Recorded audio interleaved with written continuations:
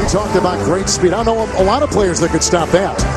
Well, he's such a nightmare matchup, Kevin, because you put him in the game and he can drag your big guy away. He gives post space to whoever's in there, either Bynum or Gasol.